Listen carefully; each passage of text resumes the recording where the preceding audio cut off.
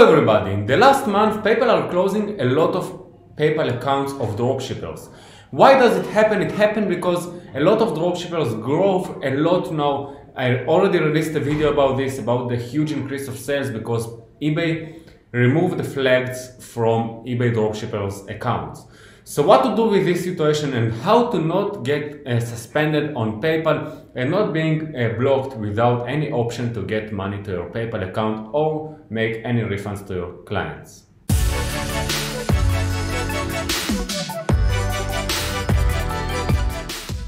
So to make it work on the best way, we have two things that we need to do here. The first thing is to configure our PayPal account and let PayPal know that we are expecting to get high revenue in our PayPal account. As new PayPal accounts, as new PayPal accounts, PayPal don't know what revenue will you get and then when you get a lot of sales or a huge increase of sales in your PayPal account, PayPal are not accepting this and then they just put flag on your account and asking you for verif verification. Sometimes this verification can take weeks or even more than this. So how to prevent, how to avoid this situation and what should you do to do this in the best way? So log into your PayPal account, click here on the top right and click account settings. After you go to account settings, you have here business information. Click on this and then click update. The next thing which you will see here is that your business information, click on edit and then you scroll down and you will see these uh, fields.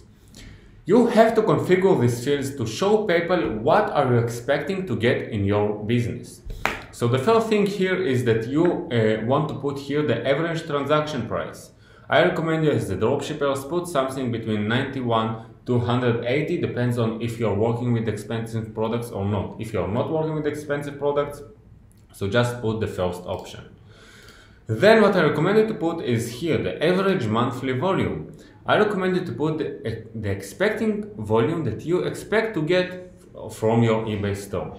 So I recommend you to put some somewhere uh, this one or this one so you can really show PayPal that you plan to grow and then when you go to these uh, amounts PayPal will not flag you immediately and will not ask you for verification immediately because they expected you to get to these amounts.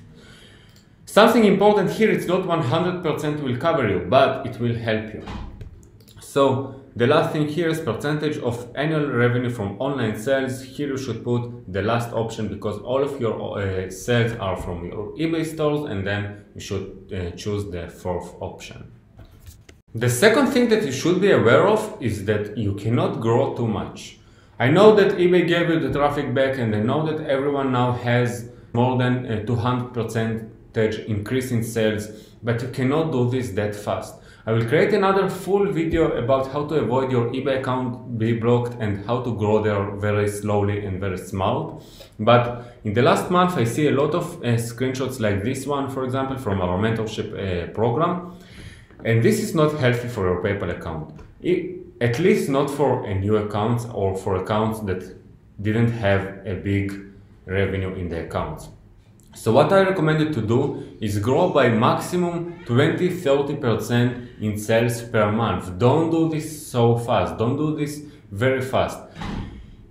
In the beginning, you can grow fast, but uh, when you get around $800 per account or even 500 per day, you cannot continue grow very fast. So I recommend you to do one of the two things. The first one is to increase the handling time, so you will have more time to uh, process your orders and it just will make it easier for you because anyway you cannot uh, grow so fast. The second option, and I prefer this option, is just increase your pricing.